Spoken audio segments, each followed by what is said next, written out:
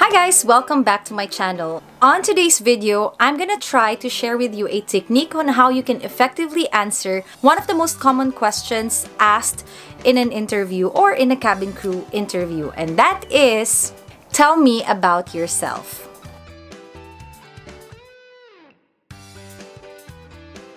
I received a lot of questions from um, from aspirants as well on my Instagram, on a couple of comments here on YouTube as well, asking me, how do you really answer this question? Tell me something about yourself. Because really, it's a very simple question. Tell me something about yourself. And who knows you better than yourself, right? But the problem there is, what should you talk about? What should you what should you share when you get this uh, when you get this question? One reason that i think this question is quite difficult to answer is because there are really a lot of things that you can talk about. Should you talk about your hobbies? Should you talk about your educational background your work background? So the question there is where do you begin? Where where should you begin when you're answering this question and one important um, one important thing to ask yourself as well is why do recruiters ask this question? When when they're already holding your resume all your important information are there. Why are they still asking you this question? Personally i think that they are asking this question because they want to know obviously number one um, they want to know how you communicate your thoughts, how you process your thoughts, and they also want to know how you prioritize the information that you have. Are you going to share relevant things to them, um, stuff that's relevant to the job, or are you just going to share random things that you usually do that is completely unrelated to the job that you're applying for? So think about that. Having said that, here are my three very quick tips on how you can um, formulate your own answer to this question. Let's go with tip number one. Don't recite your entire resume to your interviewer. Example, Hi, my name is Catherine. I am 32 years old and I come from Las Piñas, Philippines. And I graduated last uh, 2010. I worked for blah, blah, blah, blah, blah, blah. And that is all you need to know about me. So they already know all this information about you. They've already skimmed through your resume before you even entered the room. So don't bore them with um, very minor information as such. Which brings me to tip number two.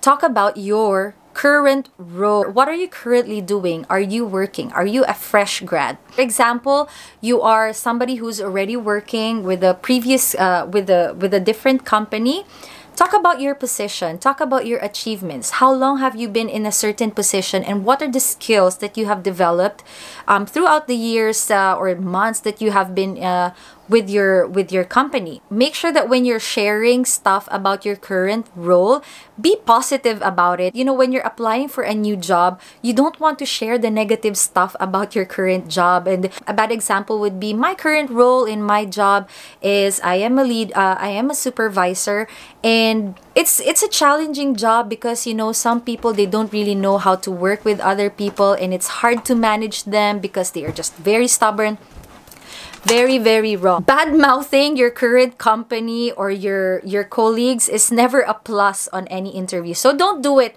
while you're uh, answering this question.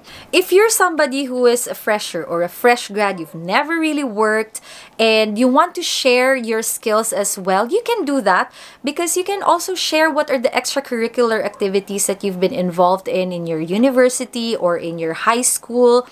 Um, just things that can highlight um, your skills. And this brings me to point number three. Very important point. Make it, um, whatever skills that you're going to be sharing, make it relevant to the position or the job that you are applying for. Let's say in this case, you're applying to be a flight attendant. What skills or traits do you think uh, is important for a cabin crew to have? So think think about that and from there you can formulate your answer. In this point as well, you can share what motivated you to apply for the job, what motivated the switch from another company to another company or from one airline to another or what made you decide that after university as a fresher what made you decide that this is the job that you want? And what are the things that you can share with the company? Those are my three simple tips.